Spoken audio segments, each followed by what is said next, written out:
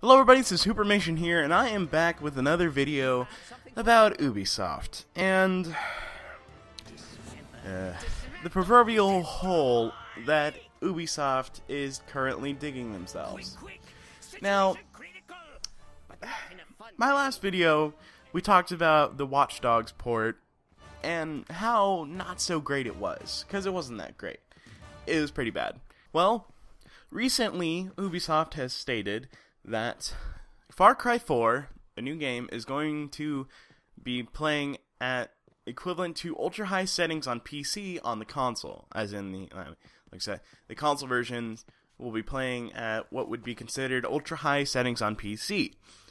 Now, I don't know what to make out of that. That doesn't sound right at all.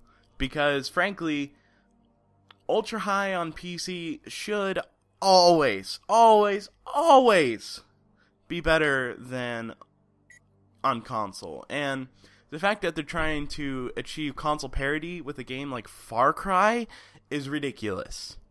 And I hope they don't pull another Watch Dogs with it because I really like Far Cry. I loved Far Cry 3. It's awesome. And my computer still can't play that on high, on absolute highest settings. I mean, it still plays it on fairly high settings. So, only with like a couple ones, but whatever. Um, next thing that Ubisoft is dipping their nose in. Well, they have commented on the allegations of the PC version of Watch Dogs being purposely downgraded and but them leaving the settings in the actual game. And here is their direct statement. The dev team is completely dedicated to getting the most out of each platform, so the notion that we would actively downgrade quality is contrary to everything we've set out to achieve. We test and optimize our games for each platform on which they're released, striving for the best possible quality. The PC version does indeed contain some old, unused render settings that were deactivated for a variety of reasons, including possible impacts on visual fidelity, stability, performance, and overall gameplay quality. Modders are usually creative and passionate players, and while we appreciate their enthusiasm, the mod in question, which uses those old settings and is not actually a mod, subjectively enhances the game's visual fidelity in certain situations, but also can also have various negative impacts. Those could range from performance issues to difficulty in reading the environment in order to appreciate the gameplay, to potentially making the game less enjoyable or even unstable. Thanks for playing Watch Dogs and believing in our vision. Stay safe on the mean streets of Chicago. oh boy. Um, there's a couple things in this statement that I don't agree with and that I don't like at all. Mainly them saying that the impacts visual fidelity, stability, performance, and overall gameplay quality. This non-mod actually improves all four of those.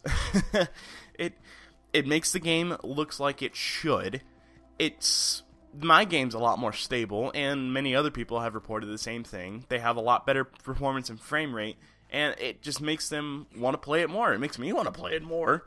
So, I thought that was, I thought that was frankly bullshit. And also them calling it a mod. I in my last video I called it a mod, and I am, I'm sorry. that was wrong because it's not a mod. A mod actually adds something to a core game or the the game's core, I guess. But this just kind of dug up what was already there, you know? So, I'm not I'm I'm not going to call it a mod. I'm going to call it a non-mod.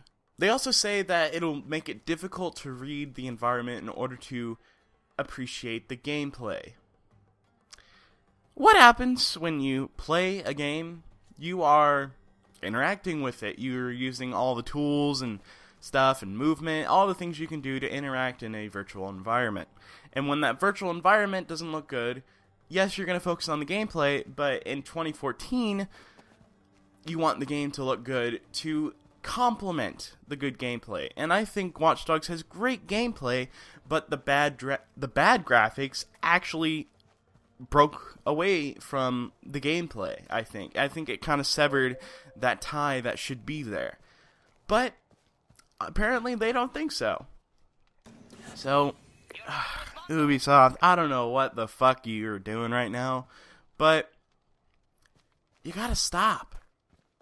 Seriously. Stop. More to do. Also, more to Thank you.